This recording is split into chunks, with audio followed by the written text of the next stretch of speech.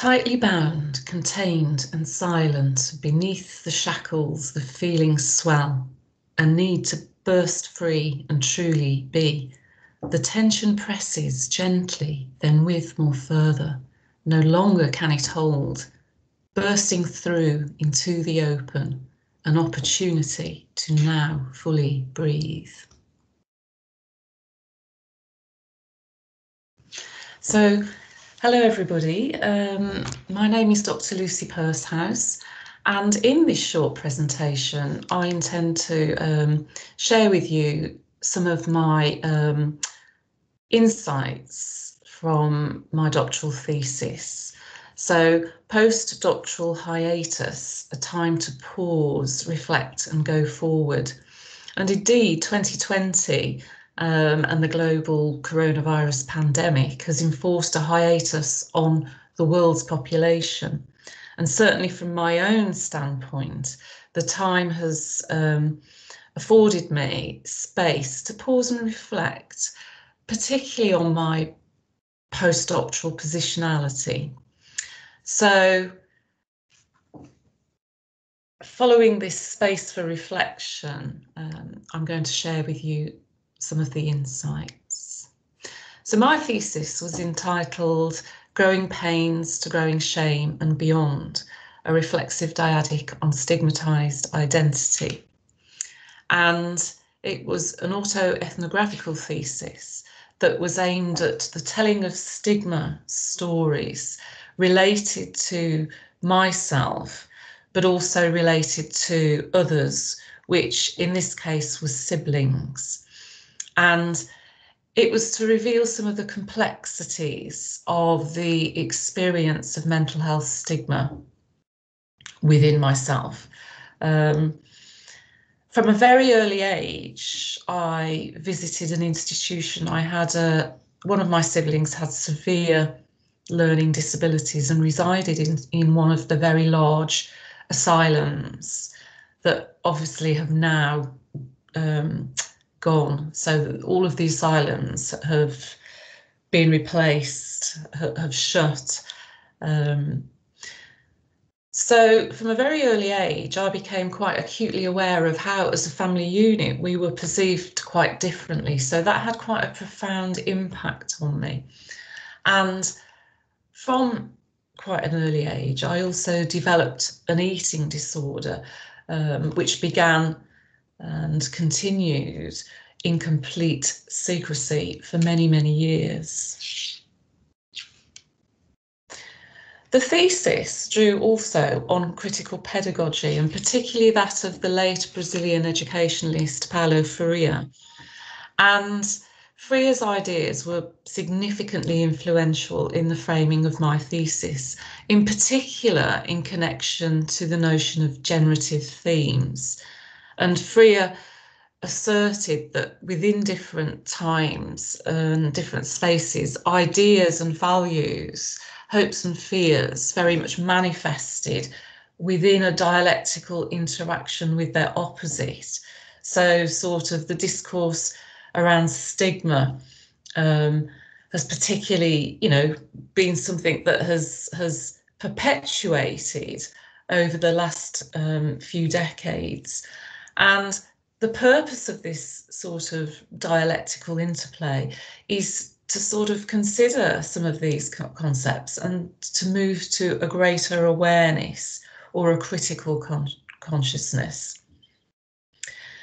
And also, Jack Mezirow um, also asserts that attitudes um, risk becoming habits of mind, and certainly this can be linked to stigma and a stigmatized identity is a habit of mind. And um, this had certainly become something that was very apparent within myself. So the autoethnographical thesis was very much the story of the beginnings of a perspective transformative process. And um, it was also about a story about institutional structures, which very much reflect um, a change in thinking um, that's related to mental health that has begun to shift people's thinkings into a more collective sphere, which is positive. Um, also, the current knowledge and research does indicate that the power of learning from the stories of lived experience and how they have quite a significant impact on changing people's attitudes, albeit it's not necessarily a long-term shift in attitudes. And as I've said, um, as, as Jack Mezirow refers to, a perspective transformative process very much starts with um, a disorientating dilemma. And my disorientating dilemma, as I've referred to whilst undertaking the professional doctorate, um, was this ongoing unease that I wasn't able to share my lived experience. And it really became quite a significant, all encompassing um, psychic manifestation. Um, I trained as a mental health practitioner. I worked as a mental health educationalist, but I wasn't able to share my lived experience. And this very much became the disorientating dilemma. And the thesis captured some of the tensions that I encountered and how stigma had very much wielded a significant hold over my identity. So my autoethnography had arisen from my disorientating dilemma and the doing of the autoethnography, um, hopefully to enable me to step outside of what was a very suffocating liminal space and to move forward or move beyond. So during my postdoctoral hiatus, um, well, lockdown, firstly, has been a rite of passage. So I've seen it very much more as a liminal phase in which to reflect. And within this um, space, there's arguably been a greater openness um, collectively about mental health. Um, but on reflection, for me, the silence remains there's a continued silence and hiatus. Um, and I have to question why. Um, it's like an insidious force or a self enforced silence. So, interestingly, I've found that at times when I've shared my autoethnography, it is met with silence. It's met with a stillness and a silence. And I have to wonder why this is. So I question that whether I've actually moved beyond. And indeed, has the disorientating dilemma continued?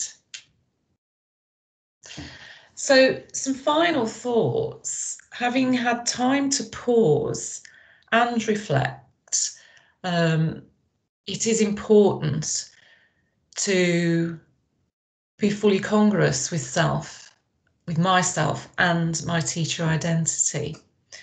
So I realise now that I need to become more comfortable in the sharing of my stories, um, of which are cited here. So moving forward, that is the intention. And Thank you for listening and thank you for your time.